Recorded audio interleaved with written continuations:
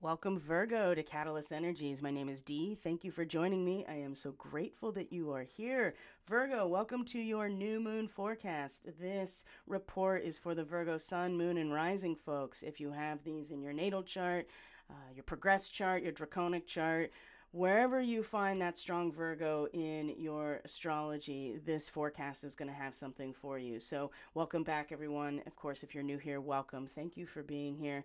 And Let's get right into it, my friends. Uh, Virgo new moon on the 14th of September 2023. That is Thursday. It is exact at 9:40 p.m. Eastern Standard Time. It is at 21 degrees 58 minutes of Virgo. So we are looking at the Virgo rising chart, even though this forecast is applicable to anyone with the sun, moon, or rising. But as per uh, the horoscope, we're going to look at the rising sign of Virgo as we go through this particular forecast. And this is just a also a reminder that if you're new to astrology and you're wondering how to keep up with it or learn about it for yourself, or even just uh, read a horoscope for yourself. You always want to read for your rising sign or your ascendant. And that is the first house cusp here, as you can see on the left hand side of the chart, if you are in fact looking at the screen here. And this is the eastern horizon at the time that you were born in terms of your location. So, this is how we designate the rising sign or the ascendant. And from there, all of the other house cusps are calculated based on whatever house system you're using. So, astrology turns out to be very technical and complicated as much as it may seem very not technical and uh, very holistic. And that's the beauty of astrology, in my opinion, is that it brings together the two sides, the left brain and the right brain, um, the artistic, holistic aspect of how you read a chart, but also the very technical, um, linear calculations that go along with this as well. So, uh, and wow, what a Virgo theme, right? Of blending the duality um, without letting go of the distinct parts of the polarity or duality. So,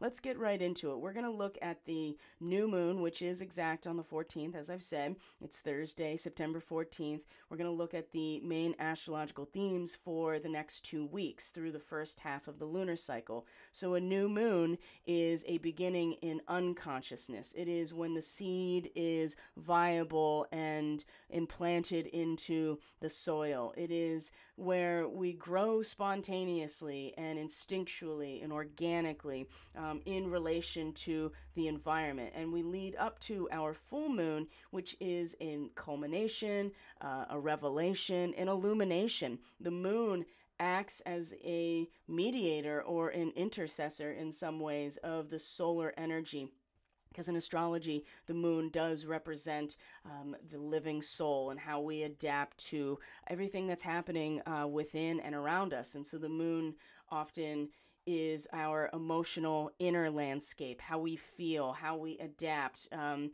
our intuition as well. So, Virgo is a mutable earth sign. It means that it is the functionality of that structure, which is related to the sign of Taurus, actually, and the second house. So, in traditional astrology, Virgo would be the sixth house. Like I said, it's functionality, it is putting those resources to actual work. And so, the Virgo person is no stranger to these types of actions and behaviors, right? Being disciplined, being dedicated to service, um, really striving for perfection in whatever the Virgo person is doing. Sometimes it moves into those types of compulsive, uh, states of being, I guess you could say, where the Virgo person becomes very focused on organization and uh, details and being so meticulous that sometimes you get caught up in that process and letting go of a very important part of the Virgo archetype, which is intuition, right? Analysis is one thing, but without the intuition and the aspect of the earth sign itself, which is distinctly feminine or yin. Without that part of it, there is no real balance. And certainly without these two poles being recognized and working together, there is no inner transmutation or transformation. And that's ultimately what Virgo as a sign and people who are Virgo people, all of that work is to bring the individual to a state of perfection through works, through labors, through organization, and being very meticulous and focusing on the details, right? If the second house is the structure, the sixth house is the functionality, putting it to work. So, like I said, Virgo people, they are no stranger no stranger to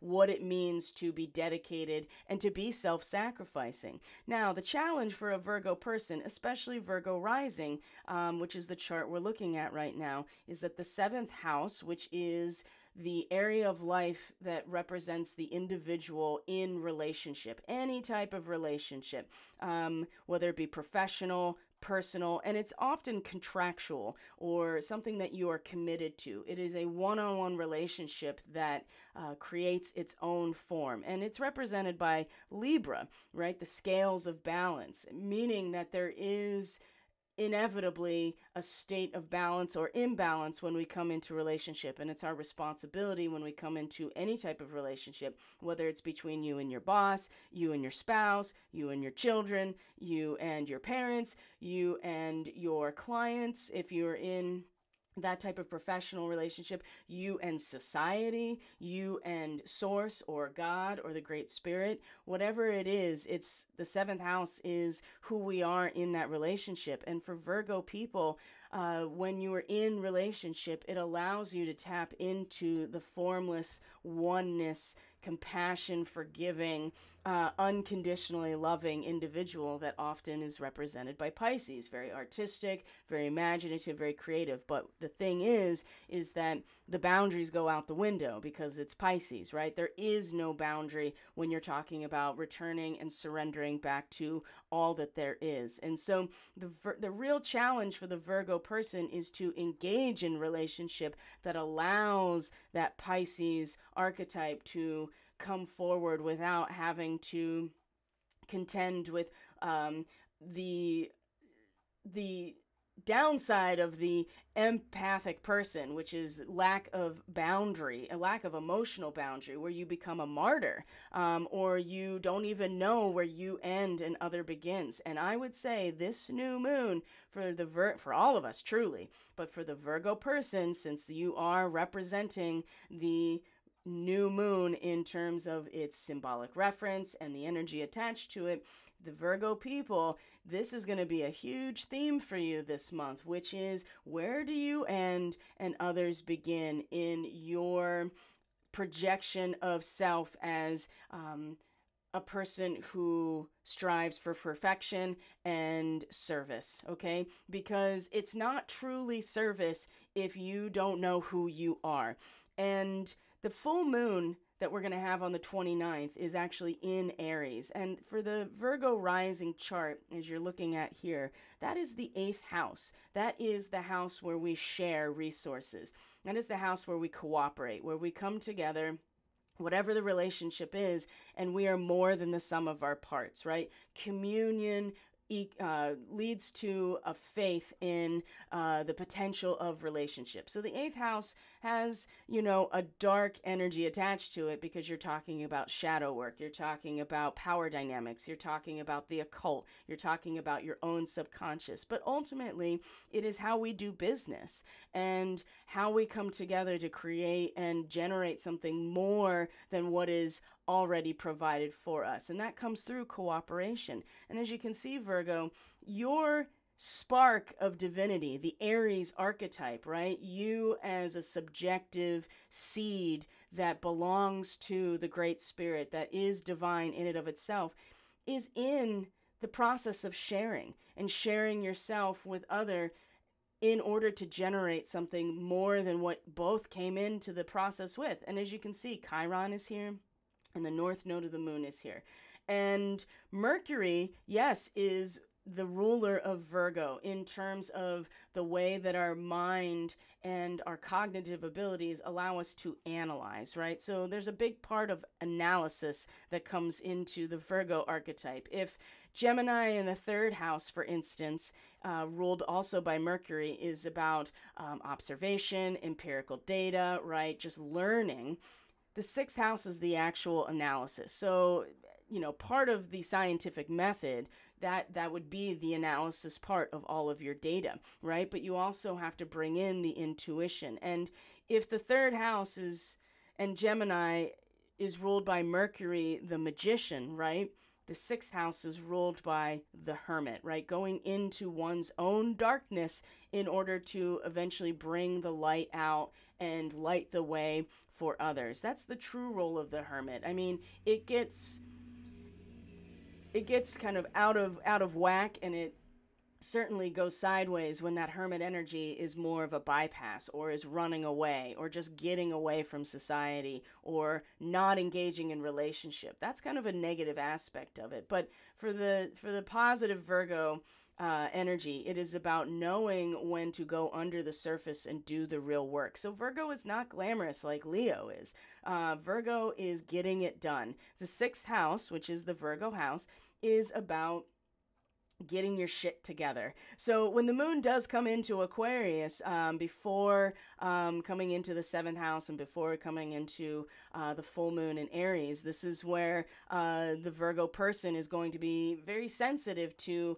those types of behaviors, those actions, the work, right? You got to put in the work and the time if you want to really perfect yourself as a vessel. So, knowing where you end and others begin and reinforcing that coat of arms is the theme of this new moon for all of us. And for the Virgo person, it is really, really essential because if you drop the ball, and no pressure, Virgo, if you drop the ball on this, um, then you know, when the moon comes into Pisces before the full moon, it will be very clear here um, your sensitivity to who you are in relationship, whether that you are just giving yourself over in terms of martyrdom and there is no boundary, um, and you just kind of find yourself dissolving away, or you come to realize as it's coming into the fullness of the actual full moon that um, you are able to tap into that compassion, that true empathy, a sense of um, real charitable focus on on whoever you're in relationship with. And like I said, it depends on who who and what it is, but um, you, the the the full armor of God, the Ephesians chapter 6, I would really recommend that you familiar even if you're not a Christian, even if you don't find yourself really into the Bible at all, just for the sake of the imagery. I would really encourage you to read Ephesians 6 chapter I would say chapters 10 through I mean verses 10 through 18. Those are the ones that I read, and that's kind of a daily for me personally. Um, and that's in the New Testament because it talks about not only the armor of God, but all of the other instruments that the individual uses to stand in the face of evil and darkness. And if you have no sense of real boundary or compassion or even that royal coat of arms, which is the degree of this new moon, as we're going to go into, then when um, when that presents itself as maybe a uh, delusion or a false uh, transcendence, you're not going to know the difference. And you find yourself just kind of getting pulled into that relationship, into that dynamic without any sense of boundary. So, Virgo is about the blending of the polarity um, in order to then surrender to the divine role in relationship whatever that is okay? So i hope i hope that makes sense. The other thing that is really important to point out just in general is that mercury is your chart ruler. Um, especially if you're a Virgo rising, if you're a, a, Virgo sun, then Mercury is your planetary ruler. But I would say, and actually, it's not me that says it, I take this directly from this particular, not this book, this book. Um, this is Chiron, trans, um, The Bridge Between the Inner and Outer Planets by Barbara Hand Clow. This is a really good uh, reference book if you are studying astrology, if you want to be practicing astrology, if you want to deepen your understanding of Chiron. This is a great resource. And Barbara Hand Clow also, you know, this is where I got it from. She had uh, designated Chiron as also the ruling body of Virgo, and I I agree with that. And I actually um, put that into my readings. That is factored into all of my personal readings with individuals. So um, I would recommend this if you are, again, studying astrology, deepening your understanding of astrology. It's very much a reference for people who are astrologers, so just keep that in mind. But it's great information about Chiron. And uh, being that the eighth house is something that this full moon is moving towards, as we are going to talk about. And this is where Chiron, currently in its retrograde, is in this area. It's important that um, you're very aware that you find your spark in the space of, of sharing. So the th- I know and, and so Mercury is going to station direct right after the new moon on the 15th, right, in your first house. And so things that have been, um, that you have been maybe processing, there's been a lot of internalized processing. Um, you've been really thinking about yourself, who you are, um, how you project yourself into the world, Virgo, because these are all first house types of things.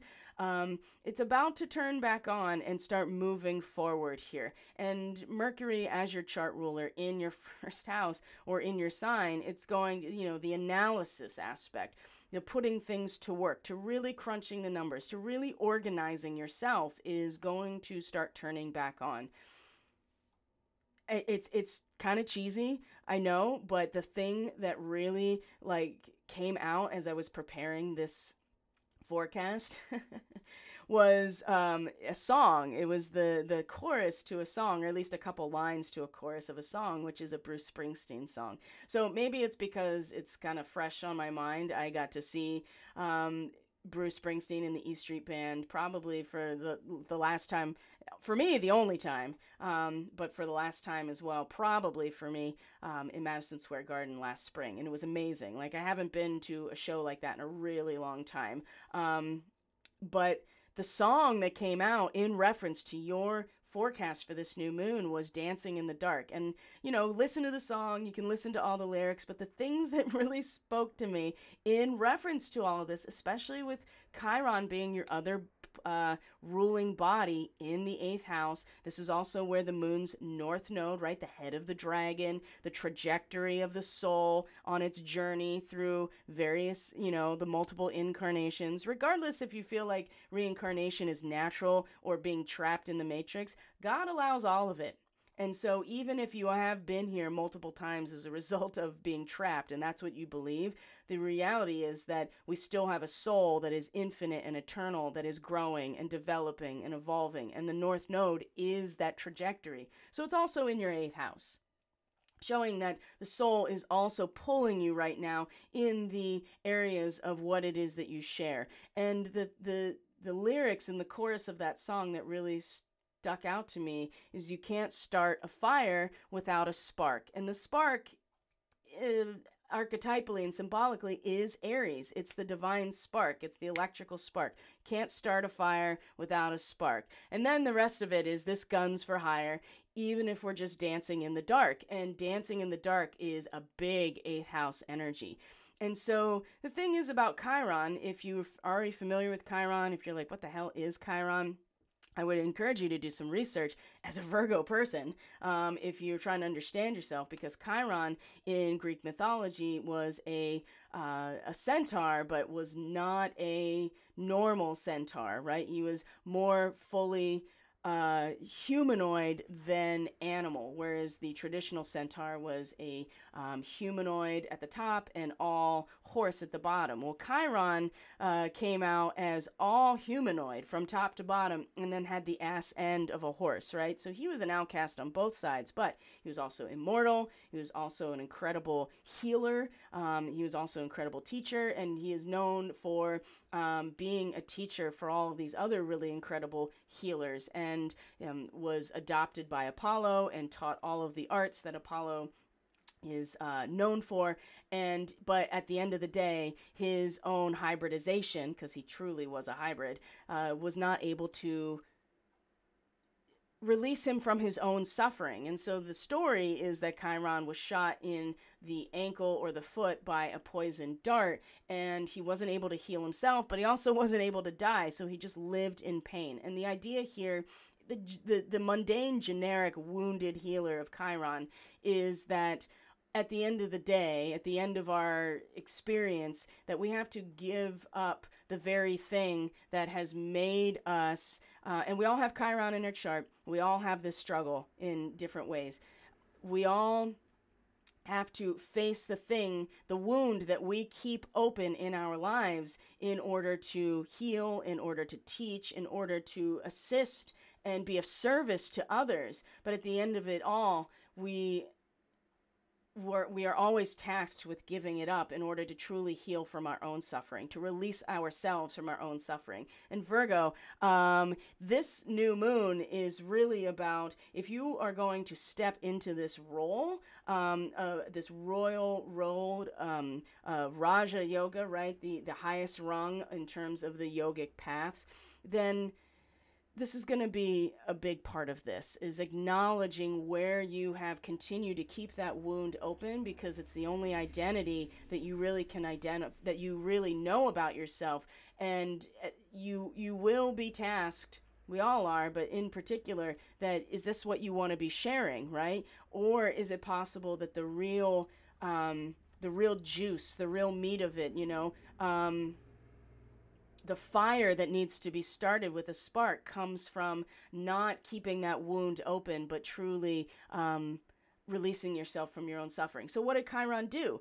Chiron basically had a deal brokered where he took the place of Prometheus, who was chained to a rock forever for having the audacity to give fire to humanity. So, he says, you know what? I'm going to take Prometheus's place and set Prometheus free, and I will take on mortality and die right? So he wasn't tor- Chiron didn't take his place and was tortured infinitely. He took his he took the place of Prometheus and attained mortality and once was able to do that is able to release himself from his own suffering right the pain that he couldn't heal from himself and so chiron being an actual comet asteroid between saturn and uranus and uranus is often made you know has this connection to prometheus. And i know this is kind of a roundabout way but i swear this has a lot to do with that ninth house of yours virgo of uranus and jupiter which are now both retrograde in that ninth house ninth house of your belief systems. Um, you can't start a fire without a spark. And if the ninth house is anything it is that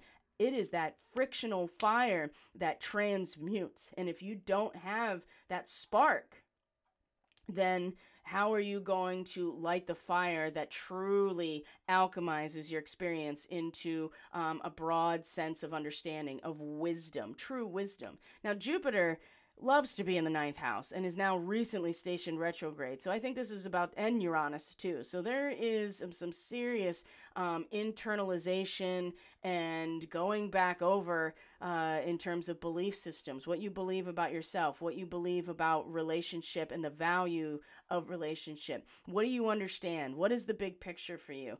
And this is an important time to really steel yourself, Virgo. Um, with this new moon and setting the intentions okay? Uh, mercury stationing direct i think is really going to help with this process um, truly but it's that eighth house. And um, all of the things that are going to come up um, throughout the next two weeks connecting to chiron connecting to the nodes of the moon and certainly uranus and jupiter up in that ninth house um, you know it is it is the alchemical process where you create something brand new. And um, you know the third house its opposition is all of the pieces of the puzzle. It's all the threads of the tapestry coming together, but it's the way that it's woven together it from the eighth into the ninth house that creates the full mosaic, the full pattern, the full abstraction, right? That the right side of the brain is able to be like, oh, that's the big picture. So yes, there are some things that are now kind of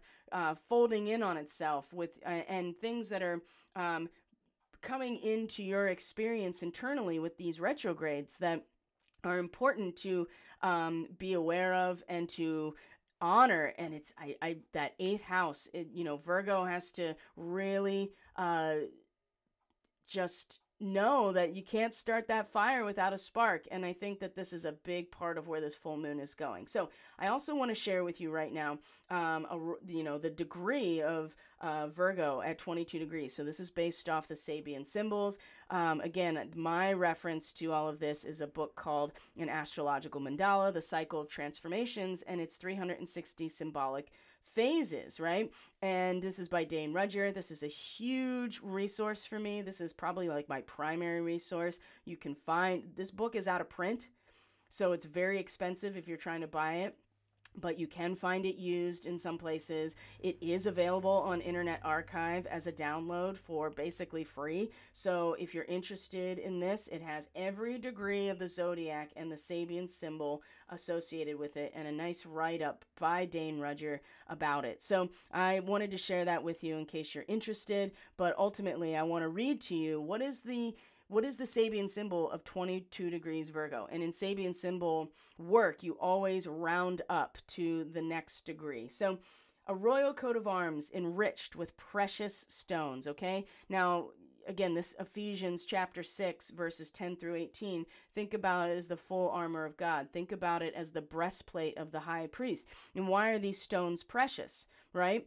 Uh, beside and this has a lot as well to do with Uranus and the degree that Uranus is in because 23 degrees of Taurus as well is about, um, you know, a jewelry shop. It's about these precious stones being valuable in and of themselves, and it is society or or us really that gives it its value and worth in terms of the way we adorn it and the way that we identify it, right? But these stones are precious in and of themselves because they are created by nature. They are created by the elements, right? They are here inherently valuable. It's what we do with them that makes the difference, right? It's not that they are only valuable because we use them. It is the value is brought forward when we use them correctly. So these precious stones, as many of you who have been part of my the last Reiki, uh, three week Reiki attunement event, we created a grid and a crystal grid and I went into all of the different crystals and I really would like to do that again. I'm not sure if it's going to happen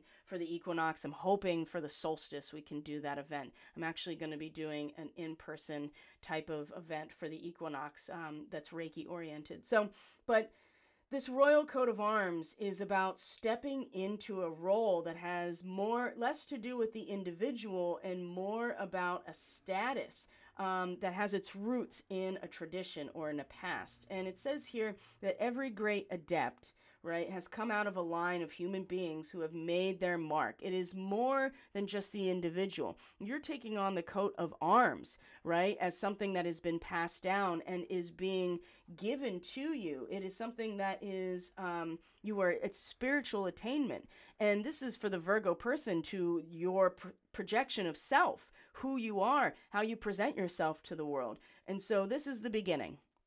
So allowing the self to start, um, you know, those enzymatic processes within the seed are starting to um, get triggered and start to activate and the seed is uh, starting to prepare to germinate right? This is kind of how i look at it and this is the beginning here for you virgo. So putting on that royal coat of arms that certification of that status that royal status is about stepping into a role that you have been endowed with and you have attained through your practice, your discipline, your sense of dedication and service. But it's just the beginning right? Um, and Mercury stationing direct right after this is also um, a big part of a big part of this as well, which is on the 15th. You're going to see that Mercury stations direct on the 15th, and you also are going to see that the sun is going to be in a trine to Uranus, right? So this um, this Earth trine, as we talk about Uranus in the ninth house, right? Which always is setting someone up for like a total religious conversion, right? And not to make it too direct in that like religious conversion, but the the idea here is a full psychological overhaul because your belief systems go through a rapid change as as a result of well your belief systems over undergo a, a change because of rapid shifting in the landscape of what you believe what is um, the purpose of your relationships okay and of course the retrograde of Uranus is also showing that this is a lot of internalized process in terms of what you believe. And so when Uranus comes back to this point later, um, well, in 2024, it will have a different um, feeling to it. It will have a sense of um, real change. Right now, this is a lot of internalized experiences. So, uh, Mercury stations direct, and the Sun trines Uranus. Now, when you have a Sun trine Uranus, just in general, it is you you become more open minded, you become more adventurous and experimental. Um, this has a lot to do with you know the Sun in your first house is very much you yourself are shining. That Virgo aspect of who you are is projecting out into the world very brightly and then in a trine, 120 degree angle to um, to Uranus in this ninth house is your intuition gets heightened. There's flashes of insight, glimpses of the future, right? And and can lead to a greater self-awareness and confidence to express your personality,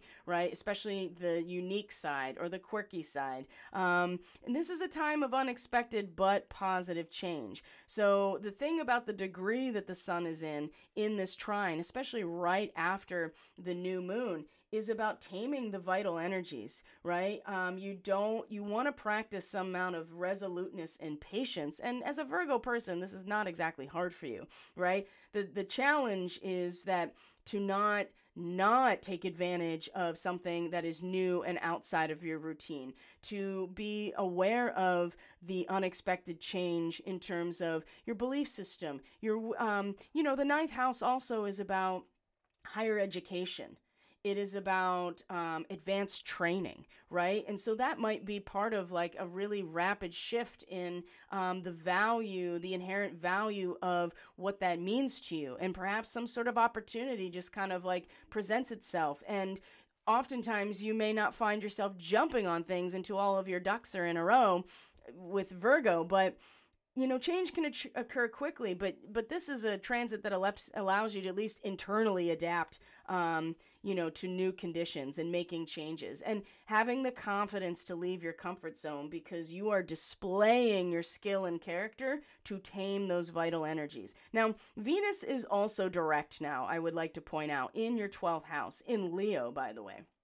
So um, she rules taurus and in the 12th house, I mean, the value, the sense of beauty and harmony, and in the case of Virgo, right, really being the center of um, her own universe here, or certainly the center of her own system, uh, is very much directed at the uh, transcendental and the social consciousness, but the social spiritual consciousness, something that has to do with transcendence, oftentimes it's in isolation that we kind of surrender back to where we came from in the 12th house. And so sometimes it's considered bondage. Sometimes you have to go through a uh, point of isolation through sickness, hospitalization. You go to prison, right? So that's the other thing, too. And Venus in Leo, especially now that she's moving direct, she really is dramatizing this situation for herself um, and as, as a release, as a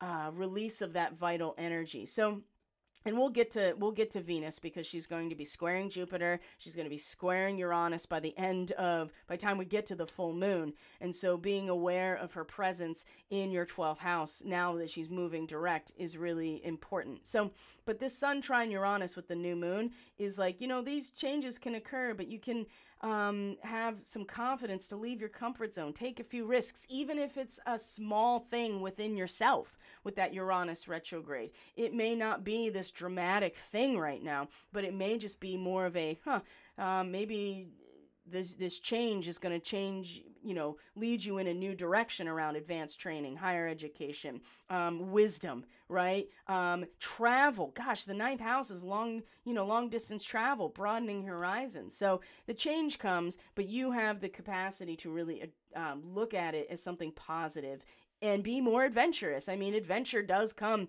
when you kind of broaden those cultural horizons and go further and be and progress. Absolutely and Mercury stationing direct is really going to give you as a Virgo person kind of like that okay let's actually start planning. Actually there there is another transit during this time. There's another Mercury in a trine to Jupiter. Again that's another one of these moments of really good long range planning opportunity. So the 17th um, so now we're looking at the weekend and we're going to go into the 17th because speaking of Venus and Jupiter this is where that square happens. Now let's make sure that this is formatted correctly. Yes, sir. Um, this is a transit where Venus in a square, like all squares, right? They create a tension. And sometimes we act out because of that tension, and sometimes we lean into it and we really grow. So Jupiter in in its retrograde in the ninth house again. You know the big picture expansion is now kind of internally expanding. Maybe it feels like it's deflating a little bit. Ooh, I'm getting a big one on that. Um, and I also know for a fact in certain uh, my personal life, watching this with other people, um, the deflation may feel um, very real uh, in terms of the big picture and that adventure and that broadening that you've been really enjoying, to be honest, for a while now. So, the square from Venus to Jupiter often will be very ideal for having fun, but it's not very good for working hard. So you feel happy, you feel optimistic, you feel friendly, and these are in areas that have to do with your um, these are areas that have to do with your social identity and expression, the top of the chart, right? So if you have to attend to things that are more serious, then um, it can be a challenge here. And there's a tendency towards excess and extravagance when you're in a really festive mood with this type of square. And I I would say here that this um, that it's okay to have some fun, right? And with Jupiter in its retrograde, maybe you don't have to work so hard. Maybe take a take a break, right? Now this doesn't mean that you should go balls to the wall here. Sorry if that offends you, but honestly, it doesn't mean you should go balls to the wall and just like totally start going on a bender because you're like, "You know what? I earned this. I'm going to take a break." Because Venus in the 12th house, again, you know, the the release of her dynamic uh, expressive energy right the her heart um, that is beaming out in the 12th house you know um, is f- affecting more than just the individual although venus is all about her own comfort and especially in leo but just be aware of how much your activities and your behavior um, affects other people in the long run. And so, again, if you're feeling deflated in terms of the big picture or you, the expansion you've been enjoying, it's okay to have fun, right? It's okay to feel generous and friendly and enjoy yourself, right? Be festive. Um, just you know, moderation is very important because um, you don't want to you don't want to overdo it and find yourself um, getting into problems. And of course, if you have to deal with something very serious, this can be a very difficult transit. But it's the weekend, um, Sunday the 17th. So I would say do what you can to just enjoy it and maybe give yourself a break for like just a moment, okay? Um, now, when we get to the 18th and the 19th, um, which is early uh, next week, before we get to our first quarter moon, there is some pretty interesting stuff going on. So the moon comes into Scorpio, right, which is normally the eighth house um, energy. And what you're going to find here, actually, on the 19th in particular, is we're going to see a grand cross because the moon is going to be opposite of Uranus, and that has its own kind of upheaval going on. But also, the sun is going to be opposite Neptune. So, this is something that is really worth paying attention to, okay? Um, now, the moon is in the third house for you, Virgo, in Scorpio. And so the sensitivity to the patterns, the underlying patterns, the, uh, the depth of what's going on right around you, the truth of what's going on right around you, and how it feels. It's, you know, moon in Scorpio, we get very deep into these feels, okay? So, one of the good things before this even happens is that the moon is in a trine to Saturn, it's in a sextile to Mercury. And so there's patience, there's emotional strength um, you yourself, um, you can really kind of be a good you can put people at ease with the intuitive understanding of what they're saying, right? And what's going on, the underlying subtext of what they're talking about because you can feel it with the moon in, in the third house in Scorpio. So that's really beneficial. This is on the 18th. But when we come into the 19th here, um, there's a lot of challenge and the, not the least of which is the sun opposite Neptune. So this is a transit that makes you very susceptible to confusion and deception. And this is about who you are and who you are in relationship, okay? And if you can avoid the ego conflicts in this situation, and find a safe place, this is a great time to develop a creative or spiritual nature. And in the case of um, you know, being a Virgo person and having this Pisces seventh house, being very charitable, right? Actually, very compassionate and being able to um, fully be of service without losing yourself in the confusion and deception. So, if you can't avoid some sort of harsh reality in this situation, which I, again, with the moon in Scorpio, especially opposite Uranus, this can be very harsh. Um, you need to take precautions to prevent loss and disappointment. So, um, especially with Neptune in, in Pisces in your seventh house like this, I mean, it just dissolves all the boundaries that would exist between you and others. So, it's making the, the defenses are weakened in a sun opposite Neptune transit. So if it sounds too good to be true, then it probably is. So learn to say no and walk away. You may not want to agree to anything or sign anything in terms of relationship. Oh my gosh, like whatever commitments you may be making in terms of relationship um, and commitments and contracts, I'd be very, very wary of starting anything new. At least delay them um, until this transit passes, right? Um, and be very clear with yourself in terms of your relationships, Virgo, whatever they are, and your intentions. You cannot have any gray areas. You have got to, this is like setting boundaries like no other um, because there's lots of deception. There's underhanded tactics that are going to be used with this transit at the macro and certainly in your own personal life. Um, and it'll be very tempting to escape the harsh realities through, again, um, drugs and alcohol, any form of unhealthy escapism. So be um, and an overdose. My gosh, this is a huge transit for overdose, especially that Neptune is in Pisces. It is its home sign. And the sun in Virgo, let's face it, is in its fall position.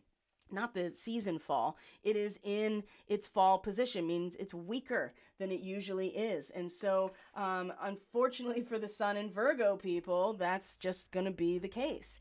And so just be aware of this transit. Now, the Grand Cross is obviously something that has to be these two um, opposite these two oppositions that are creating tensions in different directions. So a moon opposite Uranus, again, will create a strong need for independence, which contradicts your need for emotional support, which is the moon in, in your third house, right in front of you, your immediate environment, your siblings, your household, you know, your coworkers, the people that you interface with on a daily basis is in your third house, right? What you know.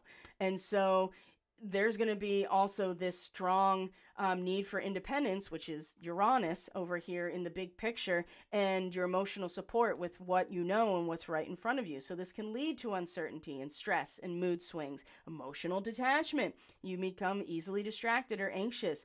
So, don't overreact or rebel. So, you see how it's like, don't commit to anything, but at the same time, the the grand cross here of just like, but also you might find this uh, really strong urge to just like rebel against anything. So this is a time for waiting and preparing for a new cycle. So flexibility and adaptability are needed because unexpected events and sudden changes become possible. So your instincts and intuition may be unreliable. Boy, when you get to this date, which is the 19th, which is next Tuesday, um, just be very aware of all of the disruption and chaos and impulsive reactions that could come out and how easily weakened we can be in relationships. So don't necessarily, you know, you may find yourself faced with a situation where you can, um, oh boy, I'm getting big hits about like somebody coming back into your life or attempting to bring you back into some sort of situation, and you want to, um, you want to you you want to take that energy and transmute it or transubstantiate it in some way because you want to be in this you want the emotional support. Just be patient with yourself. Uh, be patient with the situation. Sit back and just let i know it's uncomfortable but this is exactly where we need to be comfortable with being uncomfortable and go back to that new moon right? Because we're still in the new moon phase at this point, are we not? Like we have, oh, now we're in the crescent moon. So they're going to start feeling the obstacles that are going to present itself, um, that are going to become much more uh, on the surface when we get to the first quarter moon. Now, now we're going to talk about Pluto, speaking of Scorpio and the eighth house and stuff like that. So we're kind of like tabling the eighth house energy for just a minute. It's going to come back. So when we get to the 21st, so we go through the week, the moon moves through Scorpio, it's going to move into uh, Sagittarius, and we're going to see all kinds of connections with Venus and Chiron, just like I said, Venus, Chiron, the moon in Sag. Now, the moon in Sag is going to be in your fourth house, Virgo, so you're going to be really sensitive to those uh, family dynamics, your sense of personal power, your private life, where your power comes from, your root system, right? Um, which is the house that Jupiter is ruling, and now it's retrograde. So that's the other thing going on. The sensitivity here is deep and um, very, you know, your intuition is incredibly. It's almost prophetic when you're talking about Sagittarius. But remember, Jupiter is retrograde now, so it's very internalized. Um, now, the first thing I want to talk about, though, on the 21st is that the moon, I'm sorry, the sun in your sign trine to Pluto, okay? Pluto is in your fifth house. It's been in your fifth house for a very long time, since 2008, really. Um, it is going to come out of your fifth house finally and forever. Um, coming into 2024, okay? Which is Pluto coming into anybody's sixth house is like, ooh, oh boy, there is a lot of elimination um, and exposure and destruction that lead whew, that leads to really getting your shit together, Virgo. But we'll talk about that later at some other time. Right now, the sun in a trine to Pluto in your fifth house, right? Your creative expression, your authentic voice, whether it be laughter and um, joy or sorrow and tears, whatever it is, it's your heart fully expressing itself, um, and really you're expressing the the the divine energy moving through you um, creatively somehow, right? You're putting it out there. You are um, draw it's it's dramatic. It is uh it is taking a social risk right or a personal risk. It is joy and excitement and thrill and lust and romance right? And you got pluto in your fifth house. I mean like talk about the sexual energy of your own lust and desire um, being really strong and potent and has been for a long time.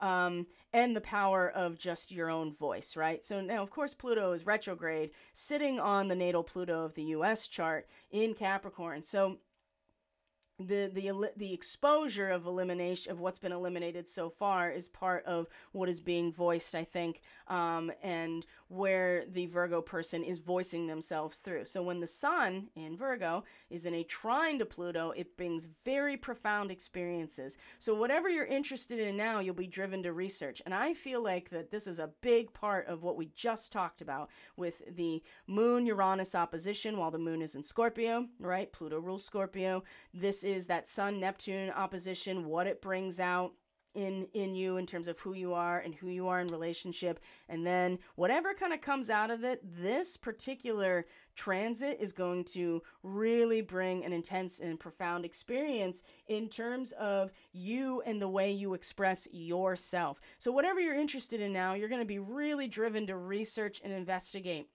right? Especially about what's been exposed at the institutional level um, and how you you know how you are seizing your own power, right? So you have a greater power and influence over your own life, and that allows for positive transformation about your creativity, about your creative, authentic expression, right? You can exert this influence over the events in your life and those around you. So this is a great opportunity to clear away any clutter, right? To, you know, make your voice and your authentic expression very, um, very clean, right? To get all the grime and the clutter away because you yourself are seizing power over your own identity, right? And oh boy, yeah, the, that Sun opposite Neptune, it's it's going to be a really game changer for Virgo people. Um, personal or professional problems can also be more easily resolved. Now, remember, the Sun and Pluto are in the bottom of the Virgo rising chart. This is um, identity and then the expression of identity. So you can resolve your own issues around um, you you and how you express yourself or the nature of your self-expression and you can take on more of a um, leadership role in because of this. And i think it has a, so much more to do with who you are and being true to yourself. Um, and then you have this ability to make positive change and have a really profound experience in terms of your voice and and also your voice and your heart leading to your projection of self being a very strong um, personal like just power of your own will i think this is a very um, powerful transit on the 21st and then um, it's the first quarter moon in in sagittarius comes right after now as with all first quarter moons, it is a crisis in action. What do I do? Because you've already, we've all already started with this new moon and it's a beginning in unconsciousness it's in it's like i said spontaneous and organic and instinctual and we are reacting to what is presented to us versus responding to things. That starts coming after the first quarter. So, just like all squares, we don't resolve the square. We lean into how it's uncomfortable. And it's at the very last degree of Sagittarius and Virgo. So you have this mutable energy involved here at the very last degrees of these signs um, of your sign, Virgo, and then of Sagittarius, which is again the the ruling area or the the house of rulership of Jupiter in its retrograde. So the last degree of Sagittarius is a funny Sabian symbol. It's not funny, it's just the Pope, right? The Pope blessing people. It's the idea that at the end of Sagittarius, right, all the meaning of relationship eventually crystallizes into actual institutional roles and structures. So this degree is about the you know that meaning and that transmutation finalizing and being ready to solidify into a structure or institution.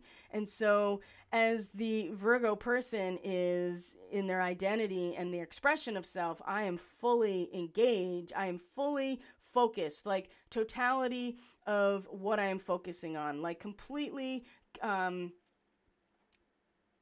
conquering all illusion about self at this point. The square is, yeah, but what do, what do I do as I am very deeply sensitive to my family, to um, those root systems that stabilize me emotionally, and becoming a symbol of that those those structures, those root systems, those traditions, my family, right? Because that in itself is going to provide, I think, the the the tension and restriction about what the Virgo role really is. It's not about the individual. The individual perfects themselves in order to be of service. And this particular square, I think, is going to just really bring out, like, okay, so what do I do, right? Do I step into this role as a representative or eh, do i continue to identify and express myself of this completely you know so focused right? Eye on the prize here. Um, and that's a question you're going to have to figure you know you're going to have to come to this moment and feel into the discomfort and then you know we go on from there towards the full moon. So the big transits now we do have the equinox right after that. So the sun comes into your second house which is all about your um, resources and identifying yourself with your resources and you know libra being the scales of balance justice fairness um, equanimity adjustment right? That is the libra card in the tarot for instance. So we, we come into the equinox. We see that venus and um, chiron are in a trine to each other. And again, I feel like that this has a lot to do with um, this trine right here. I again feels like you you have to find that place within your own spirit where you value and find a sense of personal harmony um, at a at a societal level right at, with the collective unconscious um, with that which allows you to kind of just relax and to have real companionship. And the trine to Chiron and retrograde is, is, I feel like that in itself is allowing for you to kind of transcend all of the strife and be unattached to um, the feels that can be very hard in the eighth house, right? Because we are more than the sum of our parts. And so, in the eighth house. That's the goal. And so Chiron is struggling with how do I transcend the conflict, but also be very much present with what is being created. And I feel like it's Venus in the 12th, right? Finding that sweet place within um, the social unconscious, the collective unconscious, where you yourself, maybe you are the houseboat, right? Out on the water and having a good time. Um, maybe it is in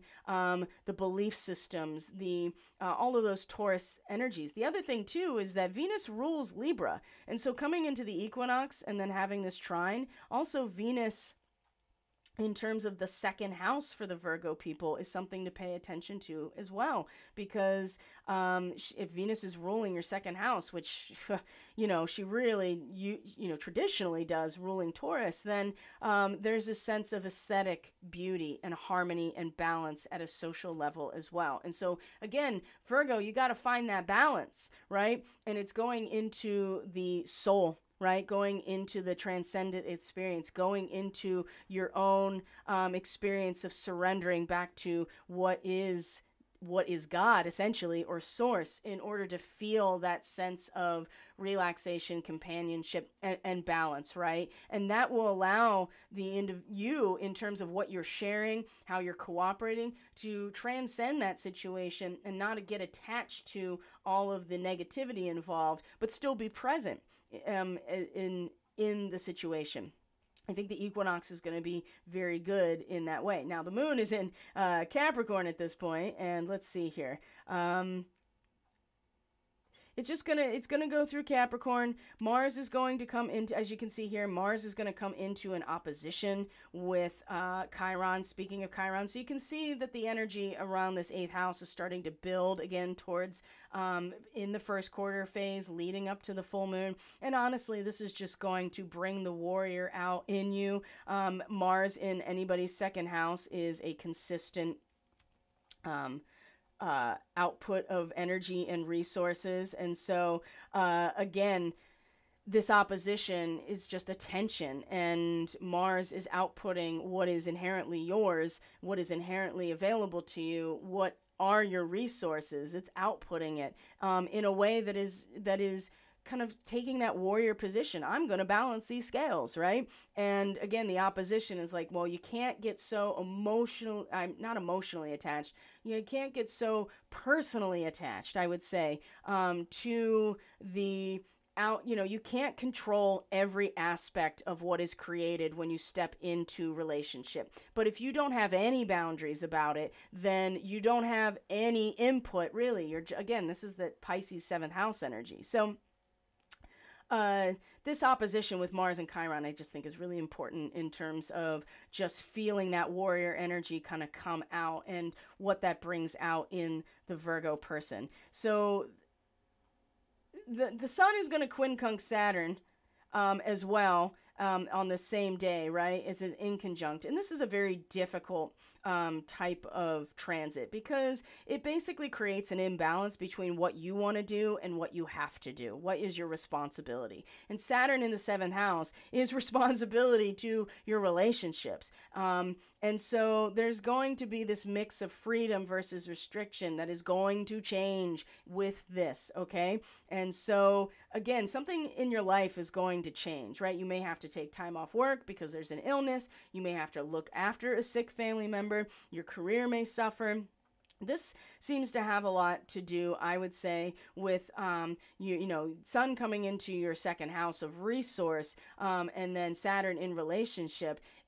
There there's going to be some sort of change here that is going to um, change the nature of what you are doing um, because of responsibility to relationship whatever that relationship is. So there's there's so much possibility for disappointment because of lack of results. There's could be criticism from your boss or some sort of authority figure. Hard work patience and self-discipline are so essential in a sun quincunx saturn like this.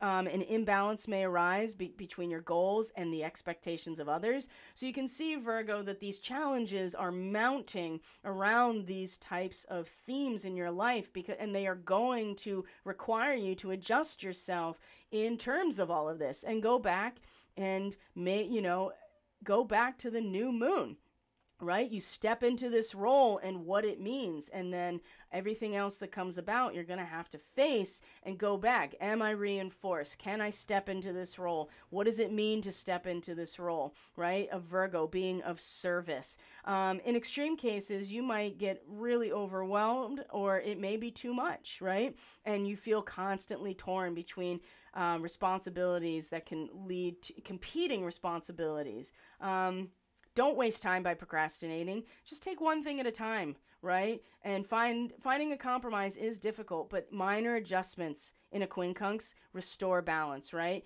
Yeah, you keep trying to shove that round peg into a square hole, but honestly, um, if you just kind of reframe the whole thing just a little bit internally, you'll real you'll you'll find that balance. But I do anticipate that there's something that's going to come up that is going to um, bring out. Um, this sense of needing to protect yourself and be cautious in terms of relationship and the responsibility to exercise that caution whereas the sun in libra 2 degrees in, in your is just like yeah but what about the seed of what could be right something is going to shift here now, the 25th is where Mercury is in a trine to Jupiter retrograde. So, again, this is one of those plans. Um, planning and optimism and good news. So, this is a time where you can actually um, make plans for the future and clean and organize yourself up and, and clean and organize yourself in terms of that advanced training. That long, you're going to plan long term travel.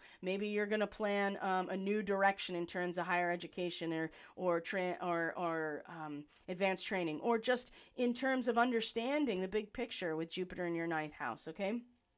And the moon's going to come into aquarius and which is your sixth house and you're just going to become very sensitive to how you need to get your shit together.